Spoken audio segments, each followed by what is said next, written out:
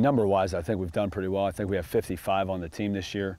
Uh, you know, I mean, with the school this small, seeing the amount of kids that we get out, you know, I mean, they dedicate themselves throughout the summer, uh, to me is is awesome. Uh, but I mean, that comes with the games, with the community, uh, and the support that we get from the school system. We have 15 seniors right now uh, that have done a great job throughout the off season, uh, leading the kids. Uh, more preaching about accountability than anything, making sure that I mean, if they're not playing basketball or baseball or running track, that they're in the weight room. Uh, I thought the, the attendance uh, in our off season was awesome. So I mean, I, I think the seniors. Uh, I mean, with the success we had last year being nine and one, but not making the playoffs, I, I I think these seniors kind of set the tone and, and make sure that you know we got to make every play that we can, uh, that every play counts, and it doesn't matter what what, what week is it, what, week it is.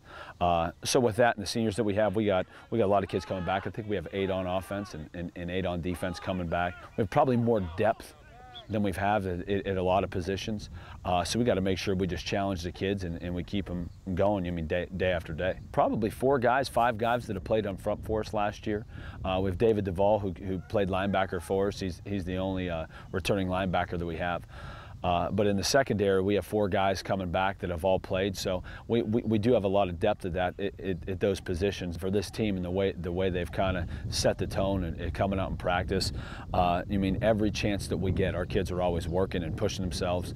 Uh, and again, I think that comes from our senior class. From from even when you went through the banquet and you think of being nine and one, or if you asked me, hey, would you, would you go nine and one? You know, I mean, last year was that good enough? I would have said, you know what I mean? Yeah, I'd be happy with nine and one. But I mean, not not making the, the playoffs just kind kind of left a bad taste in our mouth.